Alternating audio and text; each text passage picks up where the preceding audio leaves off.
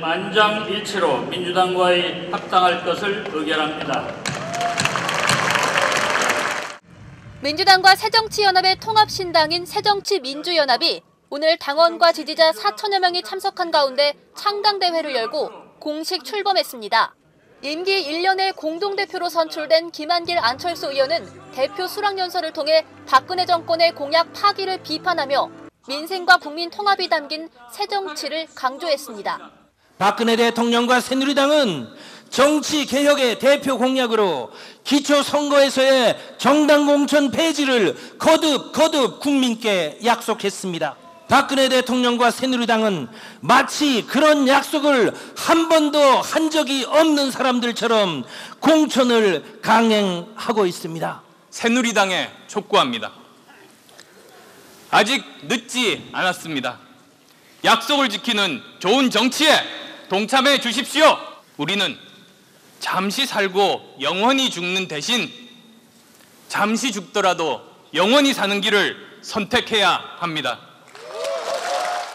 또한 김 공동대표는 6.4 지방선거 승리와 2017년 정권 교체를 선언했고 안 공동대표는 낡은 정치 타파를 다짐했습니다. 어제의 좌절과 패배주의를 딛고 일어나서 마침내 2017년 정권 교체로 향하는 대장정의 출발 선언인 것입니다, 여러분. 낡은 정치의 종말입니다. 새정치 민주연합은 기존의 낡은 정치 체제를 혁파하고 국민의 마음을 담아내는 희망의 큰 그릇입니다.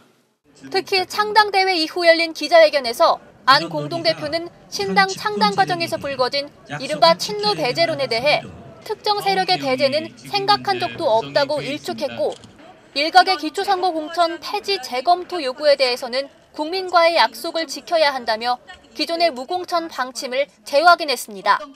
특정한 분들을 뭐 배제한다거나 이런 경우는 전혀 생각하지도 않았습니다. 그리고 그런 적도 없습니다. 지금 현재 우리 앞에 주어진 것은 외부의 큰 적입니다. 오늘 새정치연합은 창당대회를 통해 정의, 통합, 번영, 평화 4개의 가치를 반영해 만든 13가지 정책안을 정강정책으로 의결했고 일반 시민이 경선에 참여하는 국민경선안과 최고위원 25인으로 지도부를 구성하는 방안 등을 당헌 당규로 확정했습니다. 민주당과 새정치연합의 통합선언 이후 24일 만에 국회의원 130석의 제1야당으로 탄생한 새정치민주연합. 새정치민주연합이 창당 일성으로 박근혜 정권의 실정을 비판하며 새정치를 강조한 가운데 두 달여 앞으로 다가온 지방선거가 민심을 가늠할 수 있는 첫 시험대가 될 것으로 보입니다. 오마이뉴스 곽승입니다.